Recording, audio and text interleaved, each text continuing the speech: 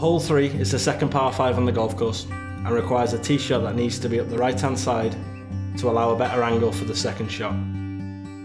The fairway narrows at approximately 250 yards so it requires an extremely accurate tee shot. If laying up, the second shot needs to be up the left hand side of the fairway to give better access to the green. From this position a short iron approach is required to a green which slopes from front left to back right with a bunker lurking at the front of the green.